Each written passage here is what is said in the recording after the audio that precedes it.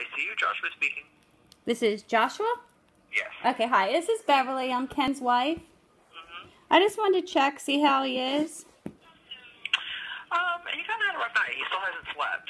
And it definitely shows because he's still pretty confused, Right.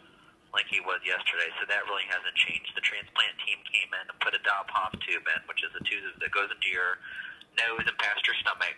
I think they may start tube feeds on him to start getting his strength back. Um, his belly tube they tied off because that looked good. So he doesn't. He's down one drain. Oh, wow. Yeah. Um, so far, that's all that has changed. And they're going to do that, um, they're going to drain some fluid, I guess, checking for infection. Yeah, what they they're doing? called you for that. Yeah. They told me they were going to come do it at the bedside, just no one's been by yet. They've called me to ask me, you know, if they could come, and I said yes, but no one's come by yet. And I assume that's to test for infection? Yes. Okay, I had a feeling that. Yeah, Um, his white count isn't terribly elevated. It's like nine, which isn't higher than normal, but, you know, he is immunosuppressed, so that can be masked. Um, and I think maybe they're thinking maybe with the confusion, but the confusion I see a lot of times in liver patients who just don't get enough sleep, they get like this too. Yeah, I can see that being. And um, what did you say? Something mass? I don't understand what that one thing you said. I heard the That- word that His mass. white count, his white Oh. count was normal, Right. within normal limits. But sometimes when you know you're immunocompromised, Uh huh. giving him meds to suppress his immune system, sometimes your white count won't elevate very high if you do have an infection. Oh, I But he see. hasn't had any fevers with me, and his white count is normal, um, and his blood cultures came back negative. So Yeah, you know, the Friday before he had um, the transplant, he was admitted because of confusion, and they were afraid maybe he had an infection going on. And they did the same thing, and they found, and again, they said the white cells are fine, there's no fever, but they still felt like they needed to test it, and there was nothing. So I really don't think there's anything. I really think he just needs sleep. Have you guys thought about giving him like um, a sleep aid? they typically don't. Uh, The new livers gotcha. at this facility, different facilities, different do different things. They typically don't at this facility, but he was wide awake all night.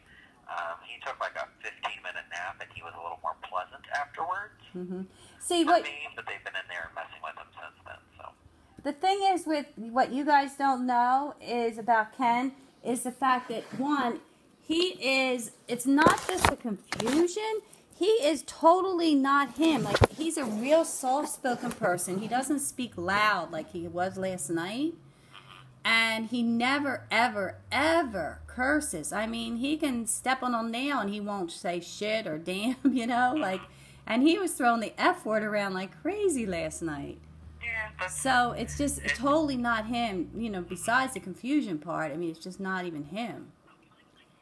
I mean, you know, he doesn't sound like him. He's not at all like he normally is. Um, anyway, I just wanted to let you know I feel really bad. I'm usually there all the time, but I'm having such a conflict. My kid, my daughter, and her, my two grandkids are in from Arizona. I haven't spent any time at all with them, but uh, so I ended up taking yesterday off, except I came in in the evening, and then today I have to take them to the airport. So the plan was to not come in until later tonight after I dropped them off at the airport, but now their flight keeps getting delayed. Now, it was five, then it got delayed to seven, and now they just contact me. It's de- delayed to eight fifteen.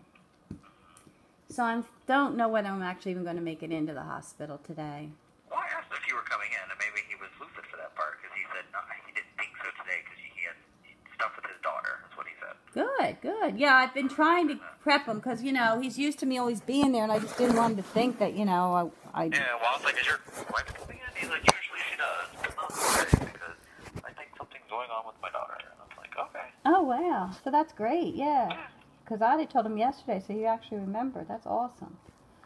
All right, Well, yeah. I ask him where he is, about 5% of the time he'll say Jefferson. The other times he says somewhere with lanes of trees. I don't know. Yeah, But I you know. remember that you weren't going to be here for that, so uh, maybe he listens to you. Yeah, that's really strange. Um, but you can always call and check in on him. yeah, I appreciate it immensely, and then I'll be in in the morning for sure, and then I'll be in every day from then on. I mean, I can't wait to be able. I just feel more comfortable being there as opposed Yeah, to this, I but. I feel also my daughter's like pulling me in the other direction. It's hard. And I want to see the grandkids, obviously. I mean, I don't Yeah. see them but once a year. Well, and sometimes you need to have a little Yeah, yeah, yeah. So I appreciate it a lot, Josh.